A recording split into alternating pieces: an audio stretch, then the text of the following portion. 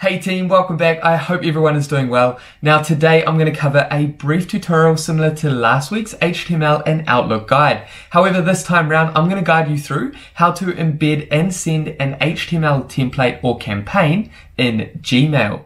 Now, just quickly, before we launch into Gmail, consider subscribing if you haven't done so already, and that way you'll stay updated with actionable videos and tutorials designed to equip you with the skills, knowledge, and tools to grow your small business online. And with that out of the way, let's go ahead and embed your HTML campaign and send with Gmail.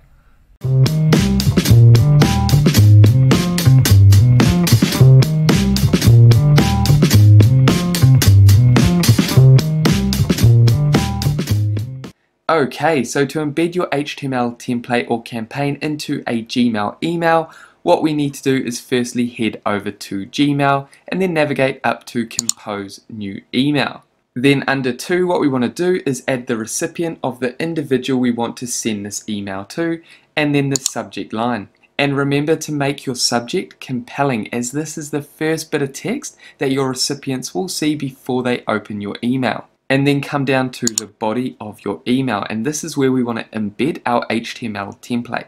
Now what you need to do is locate your HTML file on your computer. So what we're going to do is head over to our dashboard and locate our HTML file. And here we are on our dashboard. We've located our HTML file. What you want to do is double click on that file.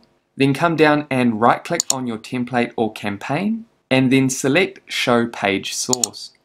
Then all you need to do is simply copy all this code. So navigate all the way down to the bottom and copy this entire bit of code.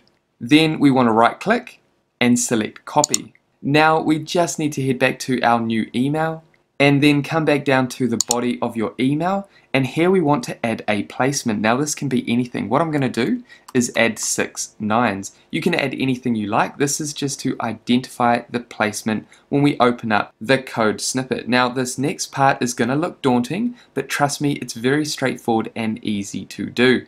So all we need to do is highlight the placement you have here. For us that is six nines. Then simply right click and come down to inspect. Here, all you need to do is navigate up to this highlight section here, and then right click, and come down and click Edit as HTML. Then here, all we need to do is navigate down till you find your placement. So this is our placement here, six nines. You can see those six nines that we added earlier. Now all we need to do here is actually delete that placement, and then we need to right click and come down and click Paste. And that's going to paste in our HTML template or campaign.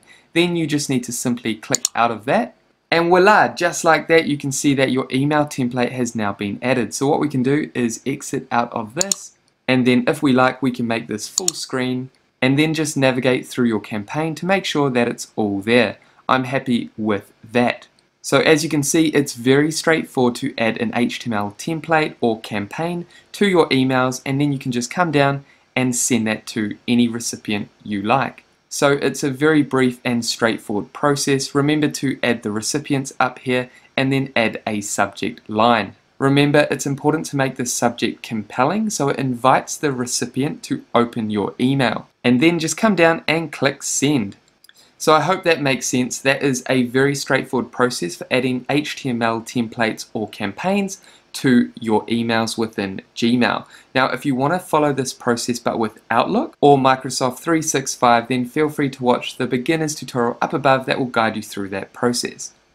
And there we have it guys, that is it for this brief but important tutorial. Now if you have any questions about embedding your HTML campaign or template into Gmail, then make sure you pop those down below. And with that said, thank you so much for watching this tutorial all the way through to the end. If you got value, make sure you leave a like and subscribe if you haven't done so already. And that way I'll see you next week in our next video. Take care guys.